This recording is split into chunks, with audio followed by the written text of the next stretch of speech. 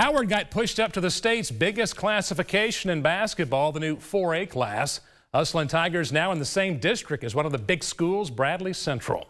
The new class doesn't seem to faze Howard. They went up 13 in the first half, but the Bears got on a run before halftime. This breakaway bucket from Messias Daniel tied the game at halftime.